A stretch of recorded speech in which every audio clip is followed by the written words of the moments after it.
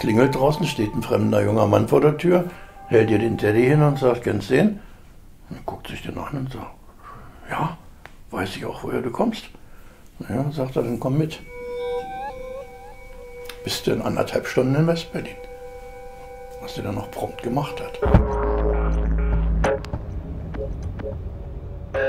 Zunächst mal muss man sich vor Augen halten, dass durch den Bau der Mauer Familien, Freundeskreise, Liebespaare buchstäblich über Nacht getrennt waren.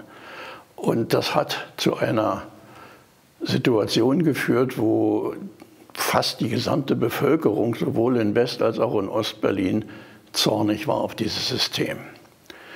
Jeder, den man gefragt hat, ausnahmslos fast jeder, war der Meinung, ja, da muss man doch was dagegen tun. Da kann man doch nicht einfach zur Tagesordnung übergehen und einfach weitermachen wie bisher. Das war so die Grundstimmung.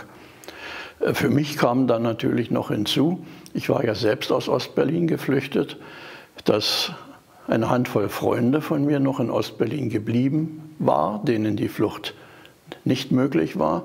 Und wir hatten einander versprochen, dass derjenige, der in Westberlin ankommt, sich darum kümmert, dass die anderen nachkommen können. Und an dieses Versprechen fühlte ich mich auch irgendwie gebunden. Und last but not least hatte ich eine Freundin in Ostberlin, die ich nach Westberlin rüberholen wollte. Und das war natürlich dann noch der Tüpfelchen auf dem i.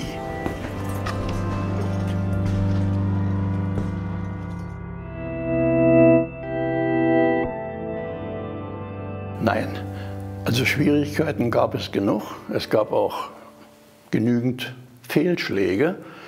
Aber das hat nie dazu geführt, dass ich aufgeben wollte, sondern im Gegenteil, ich glaube, ich wurde immer verbissener dadurch und äh, habe immer weitergemacht.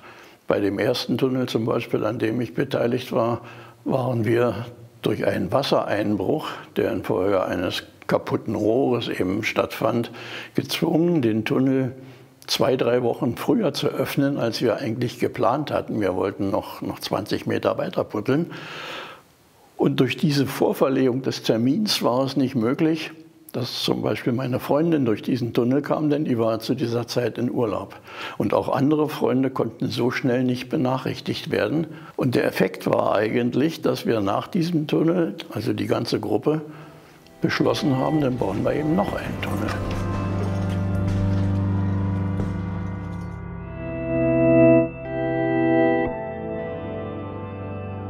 Der Tiefpunkt war zweifellos der Moment, als wir spürten, dass dieser zweite Tunnel verraten worden ist und wir kurz vorm Durchbruch dieses Tunnels also feststellten, dass im Keller schon jemand war, mit Sicherheit die Stasi und keine Freunde von uns, sodass wir uns zurückziehen und den Tunnel aufgeben mussten. Und im Zuge dieses verratenen Tunnels sind über 20 Fluchtwillige in Ostberlin verhaftet worden, unter anderem einige Freunde von mir und auch meine Freundin.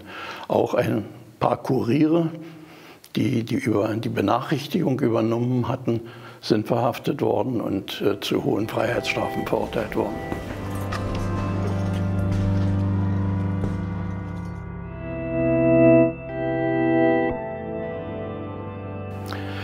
Zunächst mal sehr frustriert, dann aber, glaube ich, setzte sich wieder die, die Wut durch auf dieses System.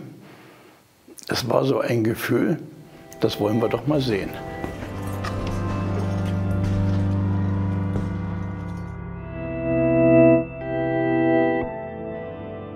Als der Tunnel, der der erfolgreichste Fluchttunnel überhaupt geworden ist, durch den 57 Menschen kamen, als der geöffnet werden sollte, habe ich an diesem Tag erst einen Brief von meiner Freundin bekommen, die eigentlich noch im Gefängnis hätte sein müssen. Und in diesem Brief teilte sie mir mit, dass sie vorzeitig entlassen worden ist ja, und wieder verfügbar ist. Und das war also erstmal schon ein, ja, ich würde mal sagen, positiver Schock. Und dann ging das aber weiter. Denn es war alles schon so weit organisiert, dass niemand mehr zur Verfügung stand, der jetzt auf die Schnelle nach Ostberlin fahren konnte und sie benachrichtigen konnte. Ich musste mir also auf eigene Faust jemanden suchen, der das übernommen hat. Und das war auch nicht ganz einfach. Ich habe einen Freund ins Vertrauen gezogen, der früher im Studentenwohnheim gewohnt hatte und da noch ein paar Leute kannte. Und der ist dann für mich losgezogen und hat versucht, jemanden zu finden, der nach Ostberlin rüberfährt und meine Freundin benachrichtigt. Um jetzt auch ein Erkennungszeichen zu haben, dass die, dieser Mann wirklich von mir kommt, hat er ihm einen kleinen Teddybären mitgegeben, den mir meine Freundin mal geschickt hatte, so als Maskottchen und den sie natürlich genau wiedererkannte. Ja, diesen, diesen Teddy, ja. Und äh, den hatte sie selber, hat sie geschrieben, sein Bein angenäht, weil aus irgendeinem Grunde war das ab.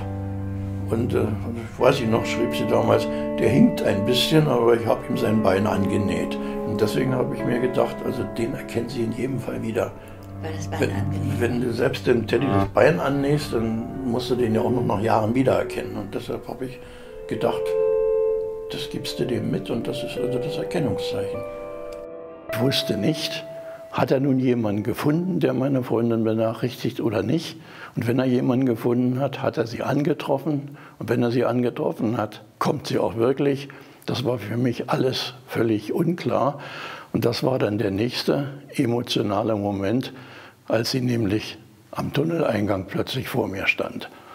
Und wir sind uns natürlich in die Arme gefallen, als wir uns erkannt haben. Und ja, vielleicht war das wirklich der alleremotionalste Moment. Das kann man jetzt mal nicht mehr so schlecht auseinanderhalten.